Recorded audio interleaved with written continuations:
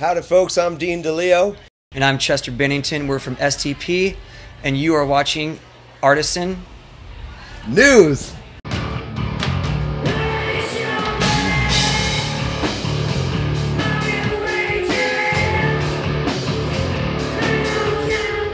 With Stone Temple Pilots and Scott Weiland duking it out in court, the group was quiet when it came to the details of the actual suit.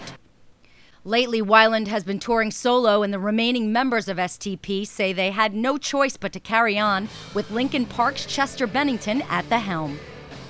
STP was a barely functional band when they toured last year, but when in 2013 the prospect of a tour in support of the anniversary of Core came about, Weiland decided to run with the idea himself and do a Purple to the Core tour, playing only songs from that era. Knowing Weiland's plan to make money without STP, the group subsequently fired Scott and quickly enlisted longtime STP fan and Linkin Park singer Chester Bennington to kick off a new chapter for the group. When Weiland's lawyers attempted to block radio stations from playing the Chester Helm single Out of Time, STP's people quickly countersued Scott, claiming that the singer is obstructing the livelihood of his former bandmates by celebrating the anniversary solo.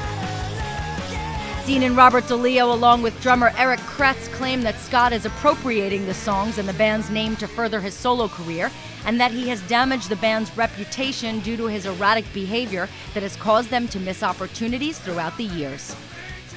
Scott is counterclaiming that he can't be fired because they signed an agreement, and both have presented the other with cease and desist orders, with Weiland saying Stone Temple Pilots shouldn't be using the name without him.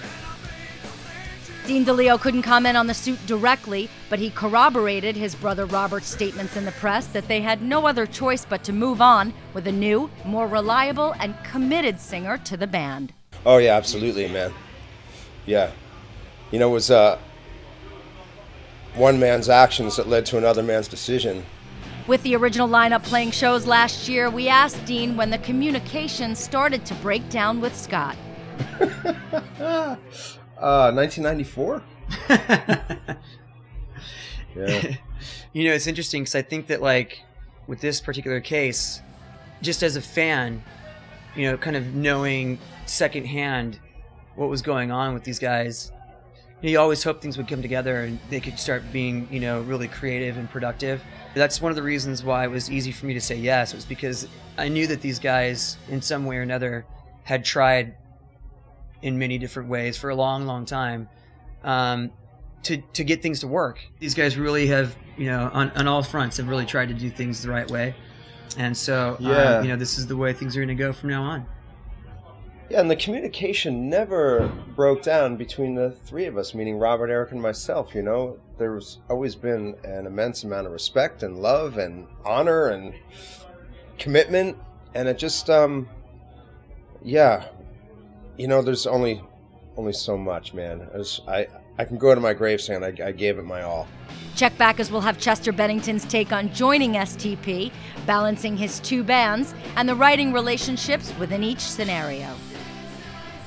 We'll also have the scoop on the group's latest EP, High Rise, which is due October 8th.